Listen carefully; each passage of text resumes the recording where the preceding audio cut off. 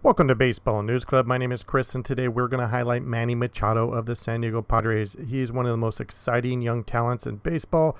He signed a big time contract with San Diego in 2019, 10 year, $300 million contract, which is the biggest contract in San Diego history for one player.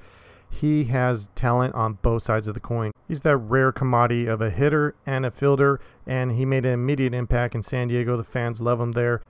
Now he's one of those super talents that has very good fielding ability and he can hit the heck out of the ball. He has gotten multiple gold gloves, can field at third, shortstop. During summer camp, I think I saw him at second base.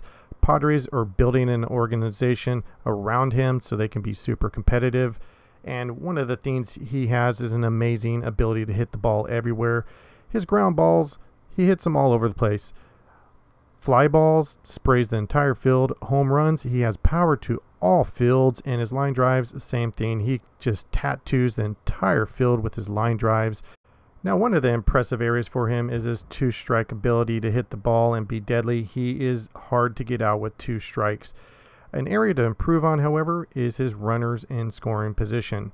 Runners in scoring position, he hit 276. With two outs, he only batted 259. So an area to improve on, but with the team being built around him, he's going to have more opportunities to beef up those numbers. Manny is going to be around for quite a while for the Padres. He is a fantastic player and looking forward to watching him play for years to come.